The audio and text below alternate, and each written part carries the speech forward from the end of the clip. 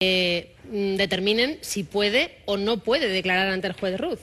Sí, porque su testimonio sería clave. Es el hombre señalado, además, por los tres secretarios generales que han pasado ante el juez Ruz esta semana. Cospedal, Cascos y Arenas coinciden en culpar a Álvaro Lapuerta, hasta ahora impedido para explicarse y dar su versión.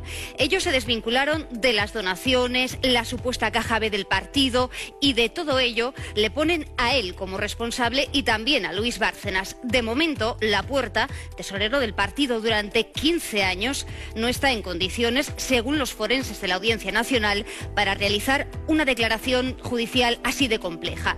La causa de su mala salud, dos caídas en su casa, en marzo y abril extrañas, según su familia. Hace un mes denunciaban en un comunicado que como no podía defenderse, alguien lo estaba utilizando como chivo expiatorio, cuando él, decían, se limitó a cumplir simplemente las órdenes de los líderes, Fraga, Aznar y Rajoy.